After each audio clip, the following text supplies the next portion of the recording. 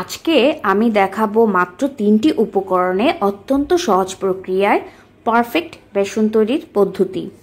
আর এই প্রক্রিয়ায় তৈরিকৃত বেসনের খাবার হয় অনেক টেস্টি এবং সেই সাথে ক্রিস্পি। তো এবার চলে যাচ্ছি বেসন তৈরির পদ্ধতিতে।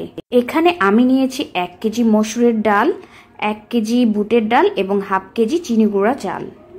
আমি এই উপকরণগুলো মিক্সড করে 10 থেকে বারো মিনিট অল্প অল্প পরিমাণ নিয়ে চুলায় টেলে নিব। যখন এই উপকরণগুলো একটু ড্রাই বা ময়শ্চারটা কমে আসবে, তখন নামিয়ে নিতে হবে। ঘরে এই বেসন তৈরি করা খুবই সহজ।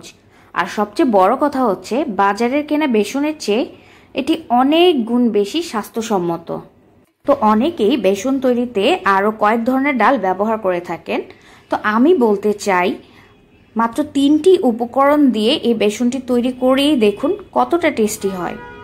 আমার উপকরণগুলো ডালা হয়ে গিয়েছে, তো এখন আমি ঠান্ডা করার জন্য কিছুক্ষণ রেখে দিব। এরপরে ব্ল্যান্ডারে ব্ল্যান্ড করে গুঁড়া করা যায়।